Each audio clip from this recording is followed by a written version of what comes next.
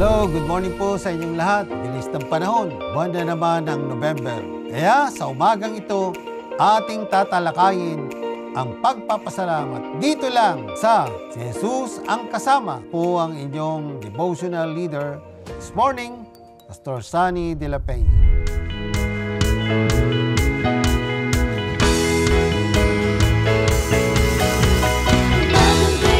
Jesus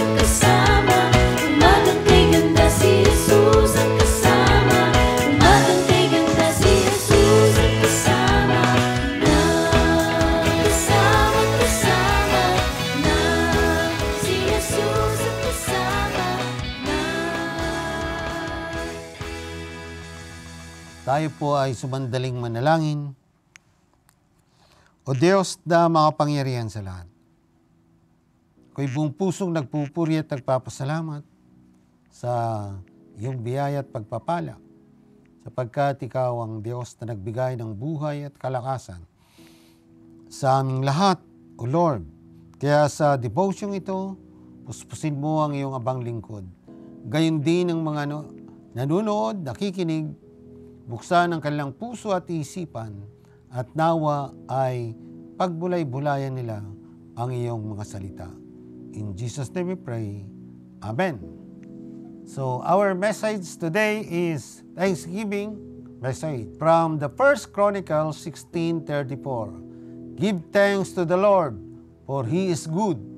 His love endures forever. Yan. So ano ang pagpapasalamat? Para sa akin, ang pagpapasalamat ay pagpapakita ng pagpapahalaga sa taong tumutulong sa atin. Ito rin ay action ng pagpapakumbaba dahil kinikilala natin ang nagpapakita ng kabaitan, paglilingkod o pagmamalasakit sa iba na nagpapasigla at nagpapalakas sa atin. Una, kanino tayo dapat magpasalamat?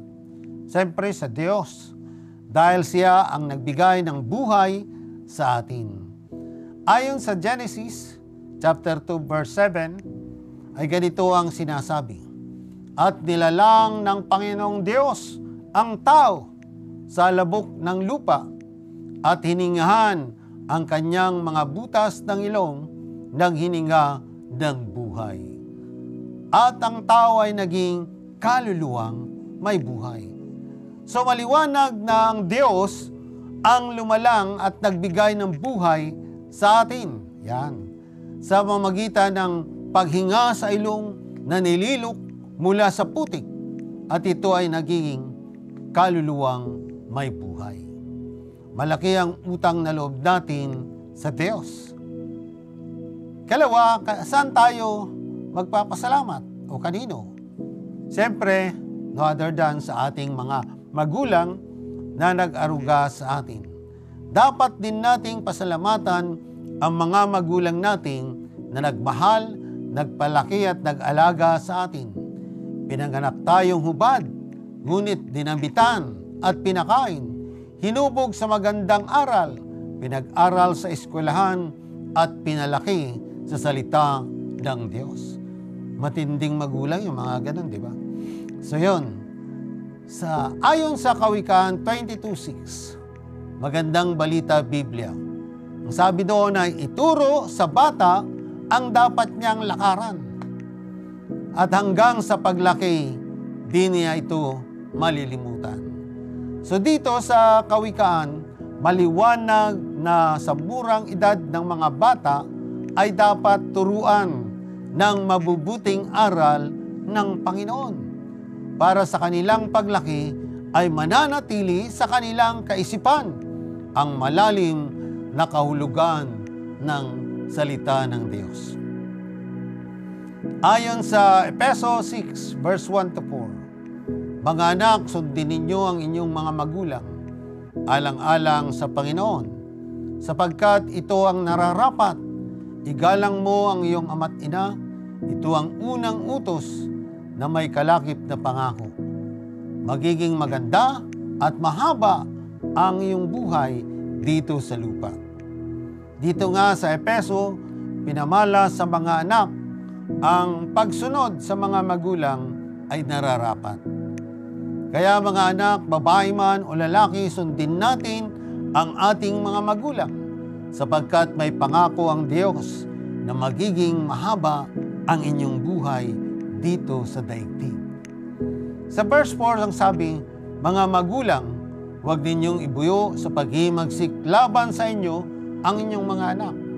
Sa halip, palaki ninyo sila ayon sa disiplina at aral ng Panginoon. Tama po yung pagdidisiplina sa mga anak.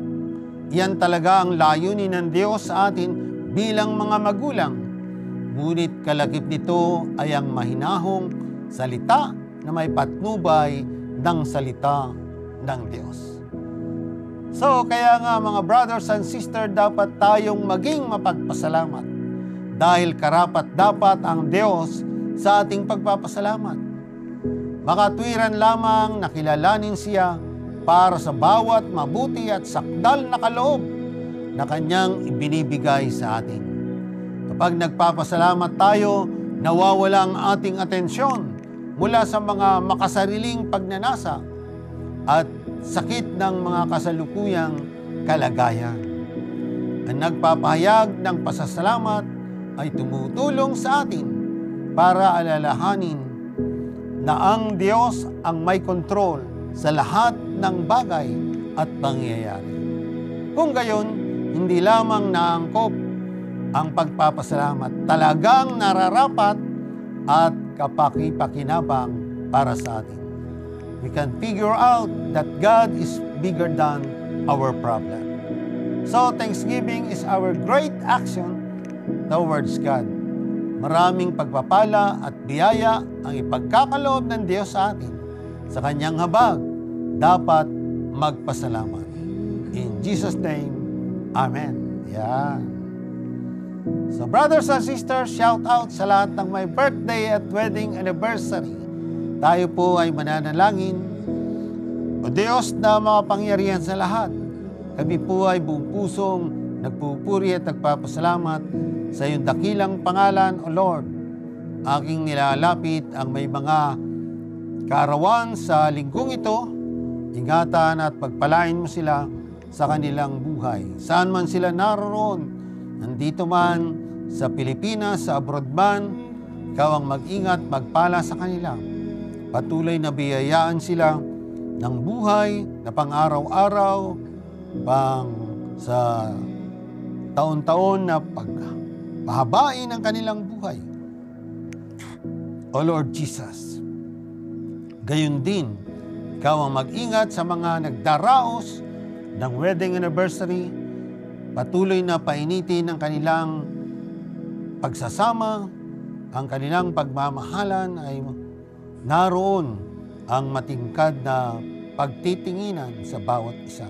Kaya bigyan sila ng maraming taon ng pagsasama sa kanilang buhay, bigkisin ang kanilang pamilya, gayon din pagpalain ng kanilang mga anak at kabuhayan upang sa gayon patuloy silang makapaglingkod na may kagalakan sa kanilang mga puso, Panginoon. Kaya Lord, sa iyo ko'y dinadalangin mga nagdaraos ng karawan at wedding anniversary this week. In Jesus' name we pray. Amen. Yan. Yan mga kapatid, dawa ay napagpala kayo ng Diyos sa mamagitan ng munting devotion ito. Pansamantala tayong magpapaalam at magbabalik tayo next Friday. Bye!